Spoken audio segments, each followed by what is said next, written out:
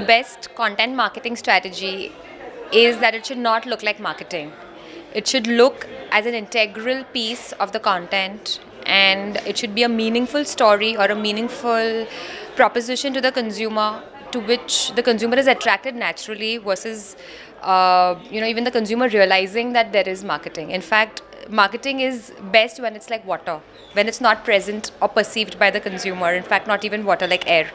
And i think if content marketing can uh, achieve that whether it's an informative video or an entertaining video if it can actually achieve that larger purpose to the consumer that it fulfills a real need of either being entertained or informed.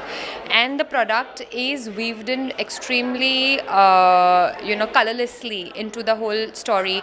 I think that forms the best uh, marketing strategy. You know marketing has two aspects right? What you spend on the creative and what you spend on the media. Uh, in fact, even in traditional marketing, you spend on the creative and you spend on the media. If the creative, and if you see the investment proportions, probably 10% is invested in the creative and 90% is invested in the media. Now, if the creative itself, the film or the content that's generated, even if it's a direct ad film, if it is superlative or if it's really, really good, then the effectiveness it delivers on the same media plan is massive.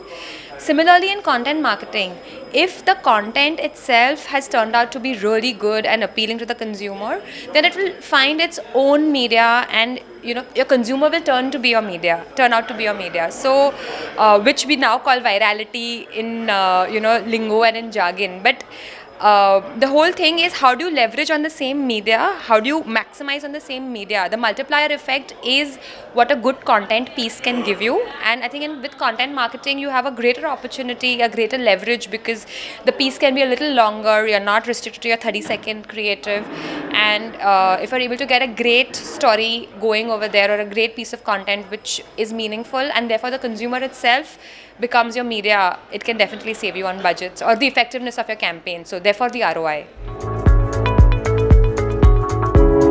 digital as a platform has really really evolved in the last 5 years in fact it's just in the last 18 months where it's become or tending to become mass content marketing before that was largely uh, you know restricted to the television or the radio medium and uh, digital never while people did experiment it was really not giving you the same reach uh, I think now uh, you can actually segmentize your you know your audiences and therefore have probably 30 different ways a same campaign ends depending on whom you're targeting. Uh, so i would say digital as it becomes more and more mass will provide a wider platform to innovate and uh, storytell for the consumer uh, for the advertisers I think even today, uh, the traditional media is too, too, way too big, you know, for uh, the uh, digital media to affect it in a big way. Yeah, but uh, the advantages of digital media in terms of targeting or uh, you know innovation are way more. I think traditional media, in a lot of cases, is catching up and coming up with a lot of innovative ad formats. But I think still digital cannot, you know, match the reach that uh, and the noticeability that traditional can give you. And when I say traditional, it's not only television, right? See the way print has innovated. In fact, there's a resurgence of print in the last five years. The way outdoors has, you know, being impact has been impactful. In fact, a lot of digital media is actually using outdoors to make an impact because beyond a point, there is also a blind spot in digital. So. Um, while it is forcing the traditional media to be innovative, I think it, traditional still has a great place of its own.